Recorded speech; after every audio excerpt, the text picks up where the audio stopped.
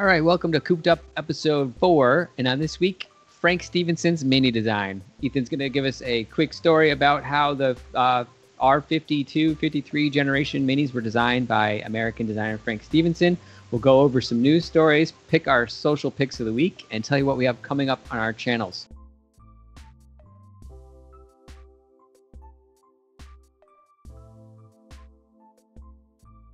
So my name is Nick, and I'm the host of the Mini Vlog on YouTube and Instagram. And I just kind of share what it's like to uh, live life with minis. Um, I have two myself, so that's where you can find me. And uh, Ethan, where can we find you? So my name is Ethan, and you can find me on Instagram and YouTube at Car Creations. Uh, my channel, we have we do BMW and mini retro- retrofits as well as Top Gear style specials these days. So uh, come join us over there. All right. So the story this week, we're going to be discussing the inspiration for the design of the new Mini by American designer Frank Stephenson. So when designing this Mini, the they wanted the look to be what the old one, but um, they wanted the look to be of the old one, but evolutionized for the future. Um, obviously, the Mini hadn't changed for since its birth, so they wanted to go with something that looked like it had been had gone through a design evolution every 10 years. So they needed to make it look compact and like a mini. However, on the inside, they needed to make it modern and roomy and airy and basically make it uh, a nice car to be in. So if you look at the car, it's kind of split into three main sections, which he called it a three tiered cake. So you have the roof, and then you have the windows and you have the side. Um, so they wanted to keep the line by the front. So I don't know if you have a picture here, but there's a quite obvious um, little tuck where they have the hood and the side of the car connect together. They wanted to keep that line alive in the new ones. So what they ended up doing was creating this clamshell bonnet that we know today. And this hood wraps all around the side and then around the front as well. And this kind of gave it the same sort of lines there as the original minis did. So that's the, um, is, is, that this is that the seam uh, seam seam line that we see in the classic minis where they're kind of welded two pieces together? Is that kind of what they wanted yeah. to bring over? Ah, okay. Yeah. So that's kind of where we got the clamshell then from trying to yeah. that seam line. Interesting. Yeah. Did not know. And that. not not many cars at that time even had a clamshell bonnet, so it was it was quite a design leap. Yeah. For uh, Mini. Yeah. Yeah. Um, one of the other things that they changed um, from the original one was the headlights. So not as much on the original design refresh that um, Frank worked on, but even but a lot more so nowadays. But you can see how the headlights are pushed back a lot more, and that was because of aerodynamics. So as much as they wanted the headlights to be right up and down like the current one, it would it made a lot more sense from an aerodynamic point of view to have them slanted backwards. Mm, okay. So then we come to what he wanted the car to look like. So he wanted to make sure that it resembled the English bulldog. And so if you look all over the car, it has this bulldog stance. So the first place that when you see a mini coming towards you is its um, grill. And what he did here was create the top bit of the grill smaller, and then he cut a line through it and made the lower part bigger and fatter that stuck out to give it kind of a uh, underbite look like, like a, a, bulldog. Like a jaw. Yeah. Okay. I see it now. That that makes sense. Yeah. And the F series moved a little bit away from this, but with the new facelift ones that we just came out, um, I think they're the 2022 models. Um, it, they've kind of brought that back a little bit. Right, gives cool. the gives that bulldog a little bit of a handlebar mustache too. But yeah, yeah, I yeah. yeah, exactly. Yeah.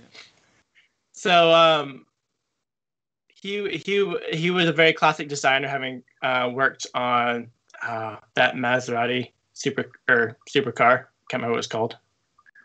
I should know. Um, as well as the McLaren P1 and also a few other cars. Um, so he really knew how to design a classic, timeless car. Mm. And one of the things that he did was if you um, follow all the lines in the car that lead anywhere, they actually all slope upwards to a, a point above the above the Mini, which kind of gave it a sense of stability on the road. Um, he also, if you, uh, I don't know if I have a picture of it, but if you put the golden law of proportions over the uh, car, Okay, Uh, yeah, yeah. yeah, that actually he tried to design it around there as well. So it, it kind of, with all the curved panels, um, with those different proportions, it gave it a nice flowing look and made it more enjoyable to look at, which is super cool. Yeah, yeah, that's cool. He's uh, I, obviously professional using the golden aspect ratio and everything like that. And I do get where where all those lines kind of flow to a point. It does seem like they all kind of go up towards the back, maybe above the uh, above the Yeah. above the uh, antenna. Maybe it seems to be where they kind of meet. But yeah, that's. Did he did, did he work for Mini at the time, or was he just hired by Mini to help with the design? Do you know? No. Uh, I don't want to say 100% because I'm not 100% sure, but I'm pretty sure he was just hired to Okay. help sure. design it. Yeah. Um, so then the other, so then if you go to the back, so we talked a little bit about the front. So if you go to the back, um, he created two strong design elements that also kind of gave this car an identity. So if you look at the placement of the tail lights of the original Mini, there's actually a space between the tail light and the um, boot line. Um, at the time, this was actually impossible to manufacture, but uh, Mini from the designs worked on a way to manufacture it, and it was a key part of the first gen Minis. Um, and once again, this was try to create uh, create a low down, um, wide stance on the road to make it look make it look like a Mini and a Hmm. bulldog too. Yeah, yeah, yeah. Um, and then finally, the other um, important design aspect of the back of the car was the uh, was the sh- he called it uh, shoulders or haunches. Um, he you can kind of see how he widened them up, and then also on the the, the, the cutout where the boot is, it's kind of um, instead of most cars, they're kind of rectangular. He kind of stretched it out and it kind of made the car look more planted on the road. So, yeah, that's pretty much the story that I have here. Um, obviously, the minis that we have now are it's kind of interesting. They're quite different from that. I would be interested to see what he think of thinks of what they did to his design. But yeah, Yeah. Is it, do you? I'm assuming he's still alive. Do you do you know that? Yeah, Yes. Um, he has has he has his own YouTube channel, um, and he has some amazing videos. Um, super easy to watch, and um, he talks about designing the Mini. He talks about designing um, Mc- the McLaren P1 and all those cars, and then he also critiques other people's designs and other cars. Market. So I did not know that. I'll have to check out that YouTube channel. I'll I will put Yeah. a link in, the, in this description below so you everybody else can check it out. That's pretty cool. I'll, I'll definitely stay up late tonight watching all those. I'm sure. I'm sure. yeah, super cool. Yeah. Well, cool. Yeah, that's uh that's a good story about the uh, design from the first gen first gen Mini. Um, Frank Stephenson, the Amer he's American. Yeah. Is that Yeah. right? Yep. Yeah. Cool. Nice. Well, awesome story. Thanks for sharing that. So uh, we're going to go into the news now, and I have uh, three quick stories to go over in the news. So the first is about the JCW uh, racing team. They uh, took two podiums this weekend, or this past weekend, out in Sonoma. Um, uh, second and third in one race, and second in the other. So they're off to a good start already. Um, they do come yeah, they do come here to near where I live. Uh, the closest track is Watkins Glen, so I do try and go out there and catch them, and I get to check out those cars. You know, when they're here, they're pretty awesome to see. Like, because they're taking a, a a stock mini and just like removing parts, and that's it. And it's, it's pretty crazy to see what how they build those out. I have a couple couple of pictures from over the years Mm. of checking them out, but yeah, they're Super pretty cool. cool. Yeah. So yeah, they're they're off to a good start. Uh, got some podiums already on the first race. And uh, some other ones coming up this year. So I highly recommend going to see them if you if they're anywhere near your area. They're pretty cool. I don't think I'd ever drive my Mini as fast as they drive those. So it's pretty pretty interesting to watch. You probably couldn't. I, you know, with the GP3, I probably could in theory, but would I? oh, would that's be, true. You have GP3. would I be brave enough? Probably not. Yeah. Yeah. Um, yeah. So, and then uh, in other news, we have the uh, BMW blog talking about how the GP, speaking of the GP, is one of the loudest cars on sale right now. Um, they, Really? Yeah, and and it's not the exhaust that's loud; it's just the overall drony noise inside the car. Um, so they said it's uh, it's not the best road trip car. You don't want to drive it for hours and hours, um, and it's a little harsh. I disagree with all those things, but you know I can see where it's not for everybody. Um, but yeah, I guess they measured some interiors for ca- of cabins of, of several cars, and the GP ends up being the loudest. You know, um, Interesting. yeah. I mean, they, I I expect that. It's, I'm not surprised, and I'm not upset over it. But you know, it's interesting. Yeah, interesting. Yeah. I feel like in my JCW, its interior is quite loud, but you only really notice it when you're in like uh, green mode because you kind of get rid of engine noise and you just have tire noise from the run flat. Right. Yeah. yes, the run flats. Yeah, those, those Yeah. are the pretty loud. When yeah, you can definitely hear those. But, yeah, so GP is GP is loud, but not in the way we want it to be loud. So.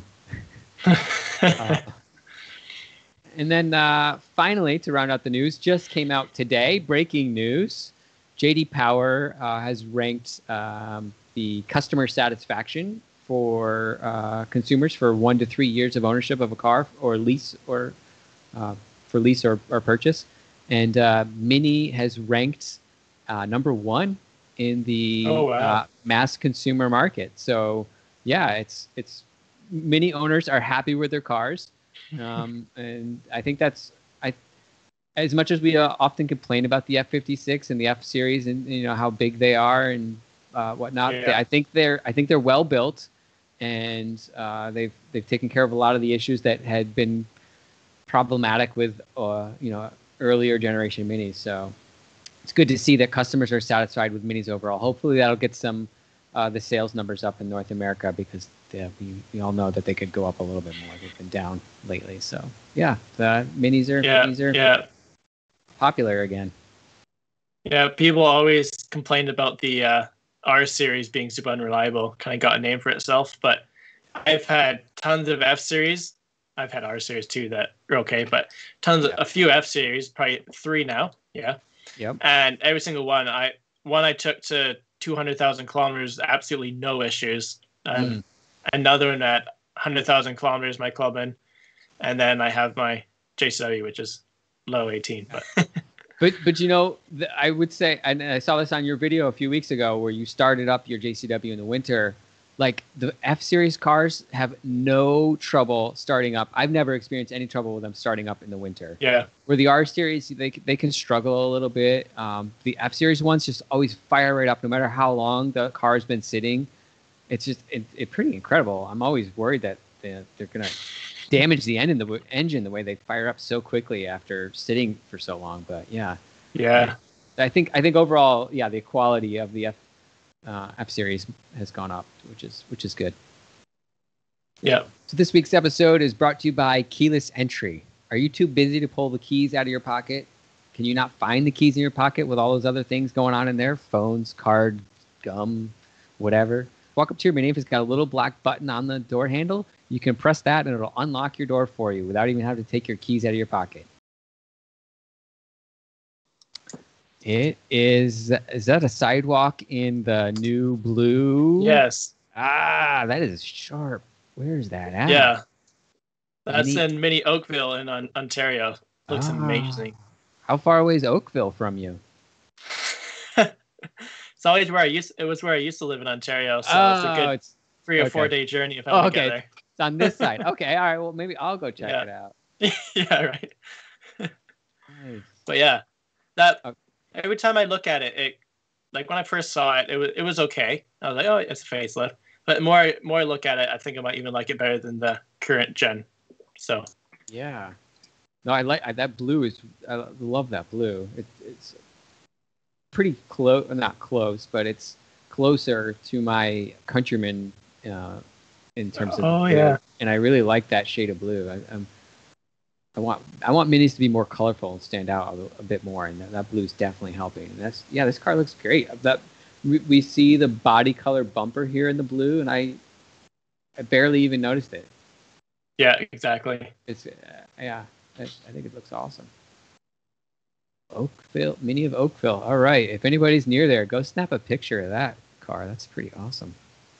So, so my pick is this GP, and uh, it's it's got a wrap on it, obviously, which I think makes the red stand out a little bit more on the front uh, with the with the darker shade uh, on in the wrap. But if you look closely at the wrap, it's got just the GP uh, word mark repeated over it, kind of like a like a pattern. It's pretty cool. Um, and if you look, also I also like the they did uh, GP on the roof as well. I think that's looks uh, looks pretty sharp. It's, it's a nice looking wrap. I, I'm usually not a huge fan. I'm excited to see people wrapping the GP. Um, I think it's I always think it's really cool, but I'm not always a fan of all the wraps. Like some of some of them, I, I feel like just contradict the blade color if they don't wrap the blades. But this dark one, I think, Yeah. goes well with the dark blades uh, and uh, the GP ghost mark pattern in there is just really awesome. I, I really like it. It's very uh, tr- and it's very Tron like with that uh, design on the hood, which is really the the GP design that's on the doors. They just enlarged it and put it on the hood, so it's it's a sharp looking. Looks like a race car. Yeah, it does. It does really. yeah, throw a number on the side, it would look absolutely Yeah. like a race car. Yeah.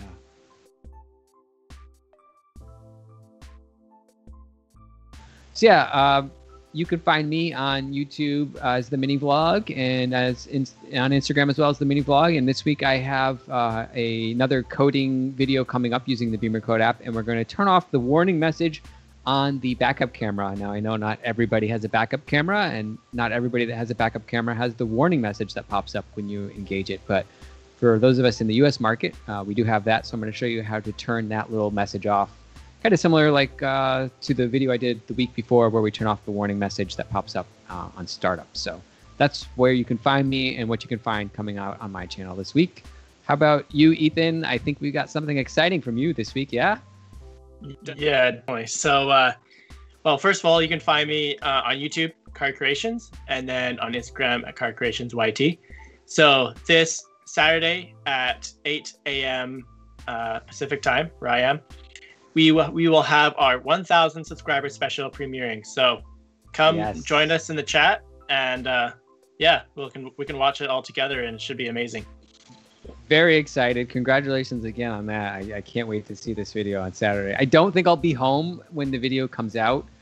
Um, Yeah. I'll be traveling, but I'm, I'm hoping that uh, I can convince some of my friends to drive so that I can at least stream it on my phone while I'm driving and enjoying the chat. So, yeah, looking Yeah, forward, yeah, forward to it. to see you there. Yeah.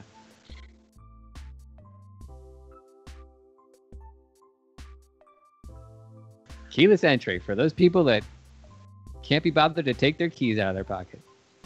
Hey, I've driven I think about 10 kilometers before I realized that I couldn't find my keys anywhere. Uh, I'm just jealous that I don't have keyless entry. So Oh, you don't on the GP? no, no. Oh, wow. That would, that would- are you kidding me, man? That would weigh too much. That little rubber button. I went to you might be able to retrofit it. That's, Yeah. like, you can do that anything that these days.